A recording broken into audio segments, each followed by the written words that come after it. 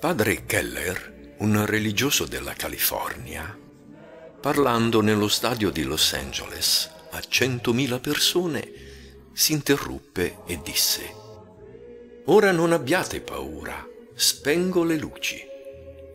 Fattosi buio, continuò, Ora accenderò un fiammifero. Quelli che lo vedranno brillare dicano la parola sì si intese un urlo di approvazione. Così, spiegò il padre, brilla nel buio del mondo la luce di un'azione di bontà. Di nuovo si spensero le luci nello stadio e una voce intimò.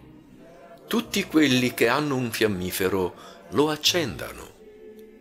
Di colpo lo stadio fu invaso da una luce sconfinata.